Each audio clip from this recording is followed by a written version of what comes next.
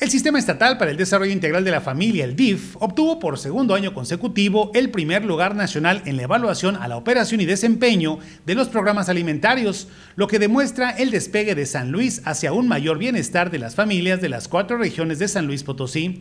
Para este año 2023 que concluyó, el DIF estatal repitió la hazaña en el vigésimo tercer Encuentro Nacional de Alimentación y Desarrollo Comunitario, llevado a cabo en el mes de noviembre en Boca del Río Veracruz, con lo que San Luis Potosí es ejemplo a nivel de país en materia de efectividad en asistencia alimentaria para personas pertenecientes a grupos vulnerables.